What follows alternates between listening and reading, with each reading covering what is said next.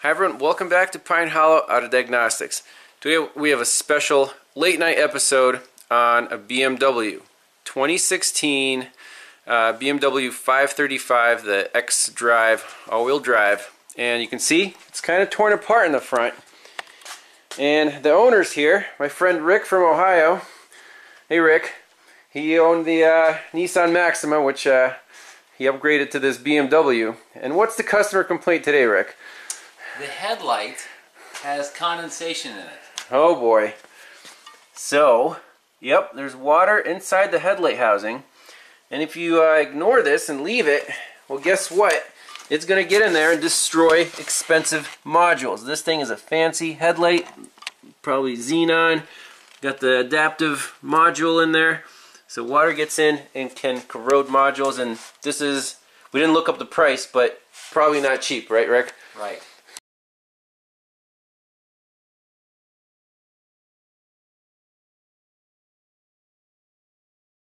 So, so how are we going to attack this? What, what, what's the what's the game plan? What do we want to do? Well, we want to inject smoke or bubbles into it. Okay, so find the leak Find the leak. and then Seal it. and seal it with some silicone and dry it out obviously before sealing it. Uh, to do that, we need some tools. So, smoke machines. I've had this OTC leak tamer for a few years now. It's great. And I just got this baby on Amazon, the Autoline Pro. So let's look at both machines, run them through a couple tests. I want to see how they perform. Then we'll use it on the headlight to hopefully find the leak. So this Autoline Pro, little tiny smoke machine, I think it's too good to be true. I just bought it on Amazon. I put it in my Amazon store under fluids testing. Go down here, here it is. So right now you can get it for 200 bucks. The OTC leak tamer is $1,200. Huge difference in price. And I want to test them on the bench to see how they perform, and then we'll use them on the BMW headlight. So what are the differences here? So this is kind of an old school machine. You need to hook it up to a battery source to power it up, and you need to hook it up to compressed air for it to, you know, uh, do the flow test. So you need two things to use this thing. And it's huge. This little guy has a rechargeable lithium ion battery and a built-in little air pump.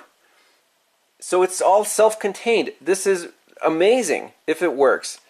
So let's run it through a couple tests. Uh, first thing I want to do is obviously power them up and see how much smoke they put out. Smoke you know, output is what a smoke machine is supposed to do. Then I want to hook them up to my pressure transducer and measure how much pressure these things put out. We don't want too much pressure because you know the headlight housing can crack, fuel tank can expand. You only want a couple psi. So let's uh, do these tests and see how these things perform.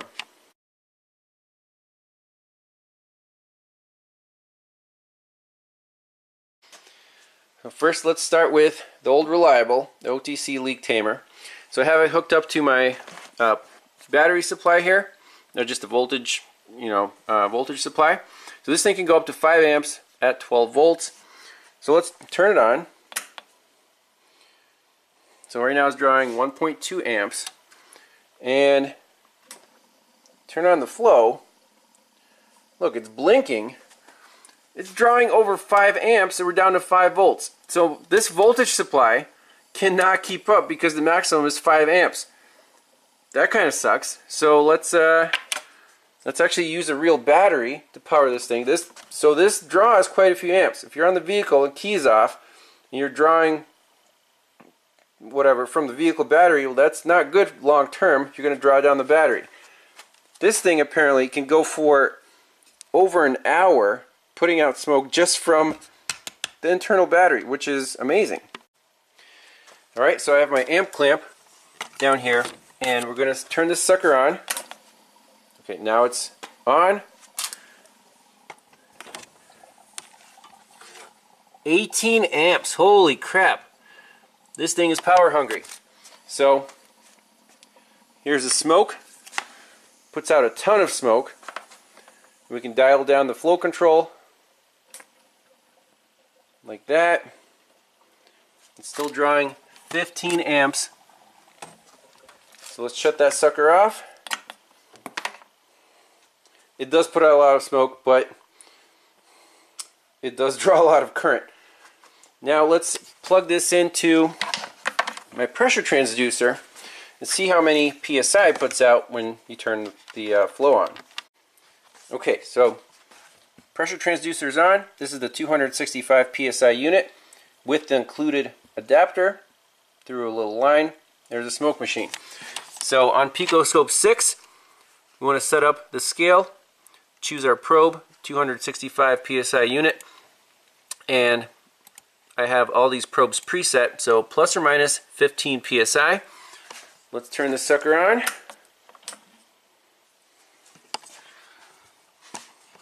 We can even drop the scale to minus 16 to 4. So not much pressure at all. Let's measure that.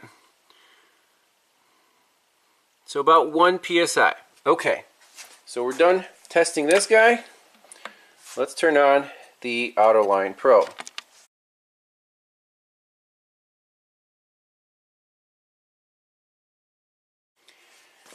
Autoline Pro. So, very easy. First, you fill it up with the included oil up to the max mark through you know this port. Then just press the button. It lights up and just starts pumping.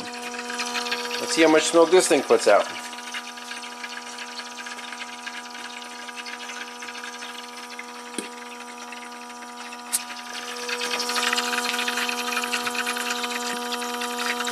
I don't know what's up with our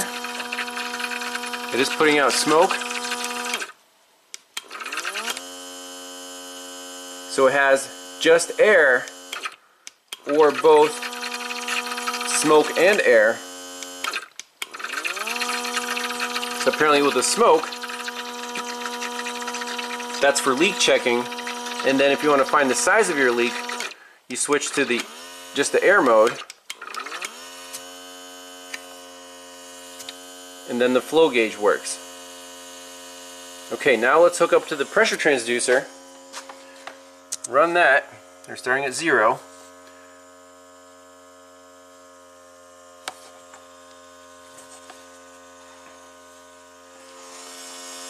No flow. So it went from zero to about one. Okay, so one PSI. It's regulated. That's nice. Let's try it on the smoke mode.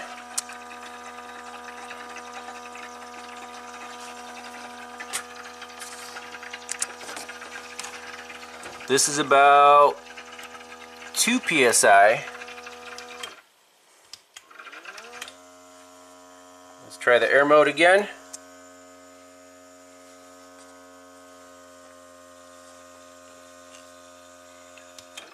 Off.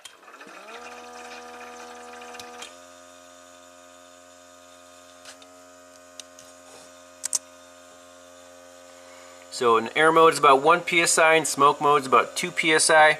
So very good, it's regulated. Now let's try it on the headlight.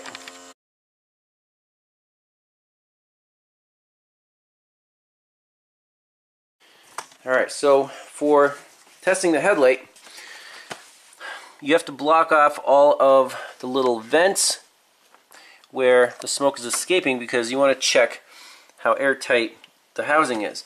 So the smoke machine's plumbed into one of the vent holes. You know, this uh, tube fits in snugly. Then there's another vent hole which I put a cap on right here. So let's turn on the smoke machine. and See what happens.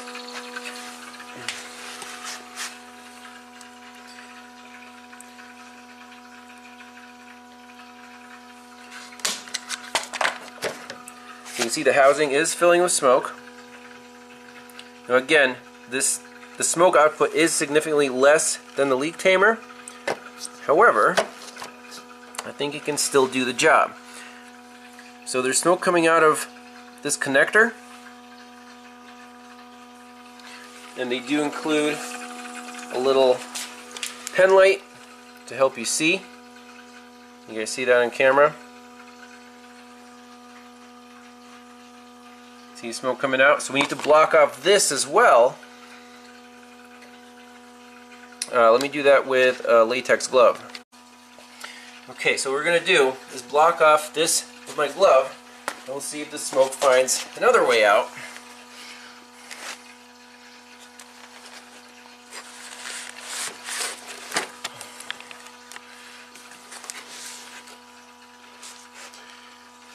now it's starting to come out of this little gap right here. The pressure is building and this is not quite a very tight seal so what we're going to do is put a clamp to squeeze this lid down get that o-ring to seal and now the smoke machine should build some pressure. And we can check that by, if I release the latex glove, Rick, you can kind of get the microphone on there. You can hear it's like, shh. so it's definitely, now it's airtight, and now we can look for the leak. Now the leak can be very small, and at first we couldn't find it. So the next plan of attack is keep the smoke machine running. We can even put it in the uh, just regular air mode and just spray soapy water along where you know the clear housing meets the plastic housing. That's where I suspect the leak will be. And right here with soapy water and the smoke machine bingo. So this took you know maybe 15 minutes to look around and find the bubbles. So the water kind of channels down here and gets sucked right into that little hole where the bubbles are coming out. Make sure the uh, my glove is on there. So we need pressure inside the headlight. Where is it coming out now? Seal that, seal that.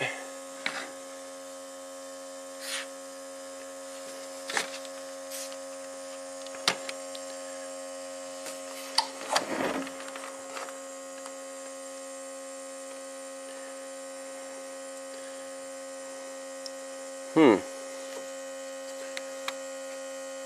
There it is. So right, right that seal, we have bubbles. So what we're going to do is clean that out real well, put some silicone on it, and take the uh, the bulbs out and just dry this thing with compressed air. Try to get all the water out. This headlight should be as good as new at least for a while. So we'll run a bead right through here.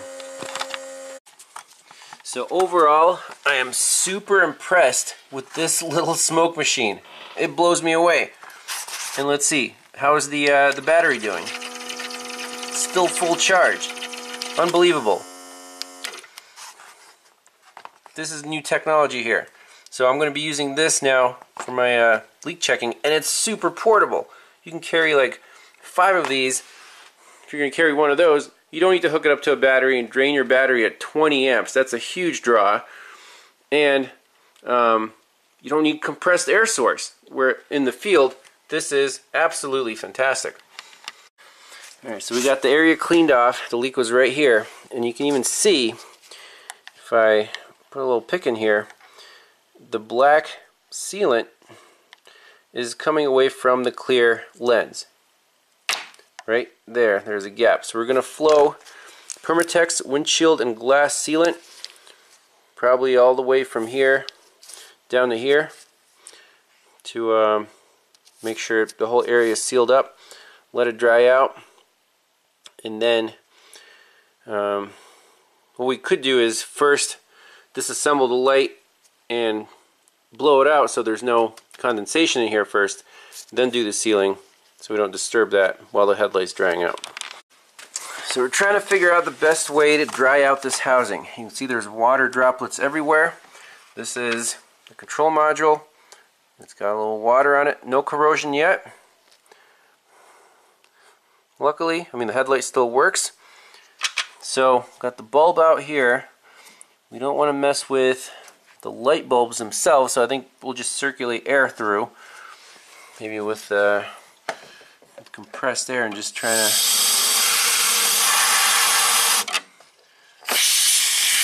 we gotta dry everything out.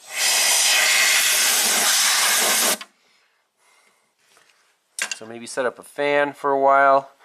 Um, you can't really get in there and wipe that stuff off. We'll just have to circulate some air. Alright, so first step is to get some compressed air through the side here. So we're focusing on the lens and just start blowing the water.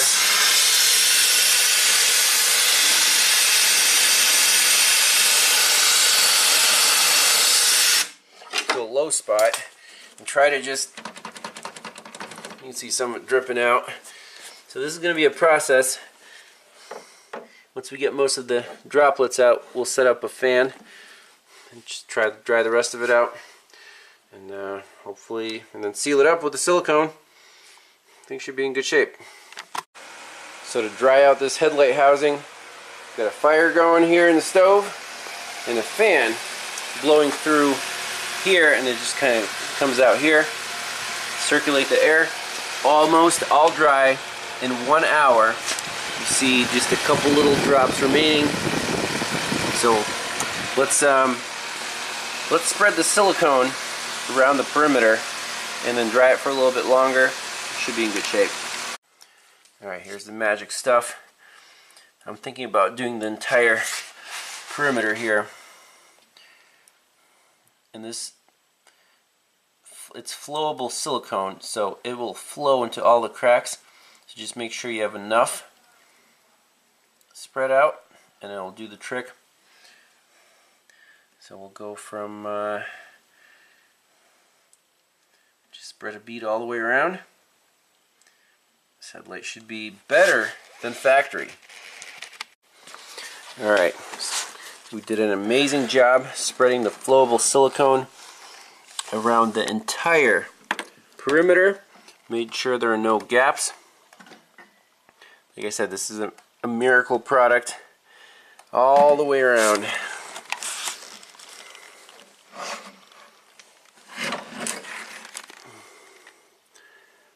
On that seam, like I said, this is better than factory sealant. This stuff will last forever. So let's keep the fan on there, dry out these last couple little drops, and put everything back together.